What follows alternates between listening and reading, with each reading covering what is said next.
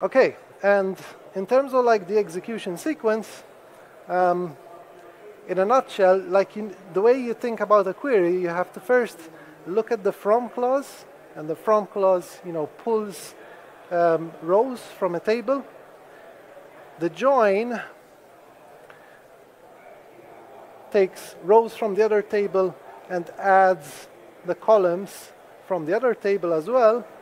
Then you've got the where which filters, okay? And if you notice, these things form a pipeline.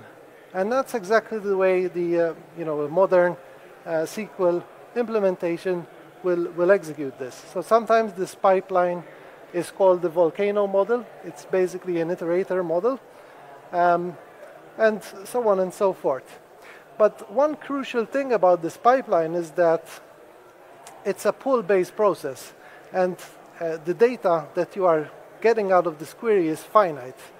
And once you exhaust the iterator, the query terminates, and that's it. You get your result.